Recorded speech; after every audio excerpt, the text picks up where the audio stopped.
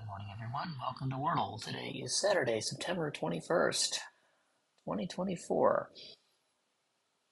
I don't know if, well, folly is not a word, and autumn isn't a word either with five letters, but leave, as in singular leaves, will work. Okay. I get the double E right and the V.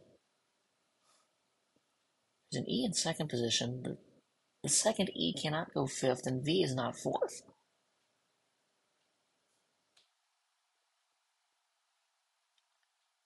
No, green, green, anything like that are, is out.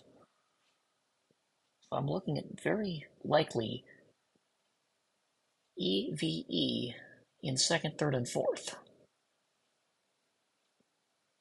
Because things like sieve won't work because that displaces the first E from second position, and I'm not allowed to do that. Okay, what about never? Okay, that gets me an N, which now must go last.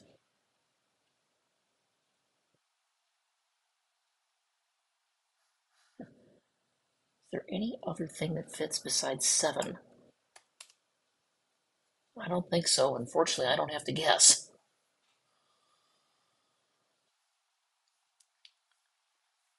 Well, it's somewhat ironic that Wordle only gives you six moves and not seven, but um,